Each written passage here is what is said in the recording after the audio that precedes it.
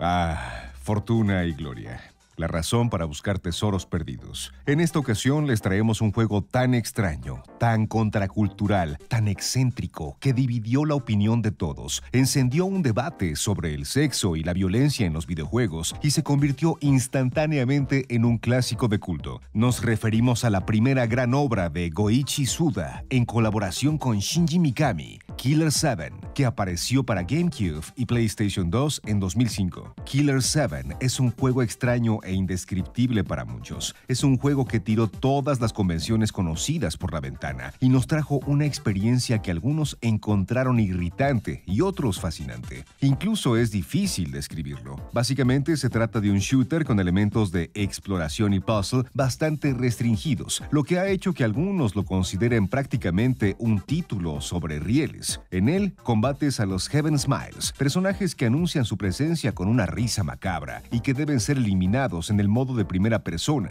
Los smiles te dan sangre que funcionan como puntos de experiencia para mejorar tus atributos. Simple, ¿no?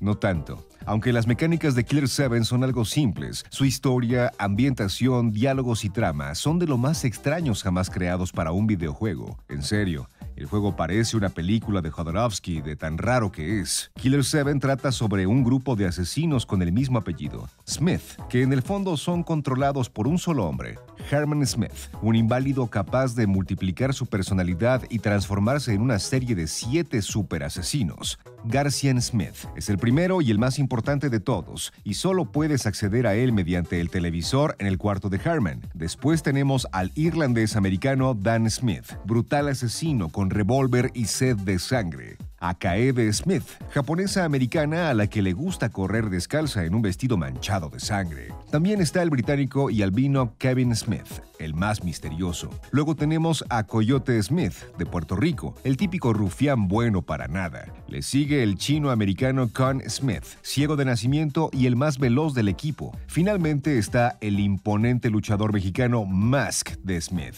que agrega el toque de brutalidad física al equipo. Este equipo de locos tiene una misión igualmente insensata. El juego ocurre en una versión alterna del futuro en el que solo hay dos superpotencias, Japón y Estados Unidos, ambos luchando diplomáticamente por dominar el mundo. Estados Unidos manda a los Smiths a asesinar diversos blancos de la delegación japonesa de las Naciones Unidas, pero pronto se encontrarán a los militantes terroristas mutantes de Heaven Smile, liderados por Kun Lan, llamado la mano de Dios. Por si esto fuera poco, te enfrentarás a aberrantes jefes, como una chica de anime con ojos moe un ángel creepy de cuatro alas, una parodia de los Power Rangers y un tejano loco. Pero eso no es nada comparado con los personajes que te ayudan. Por ejemplo, tenemos a Travis, el fantasma de tu primera víctima.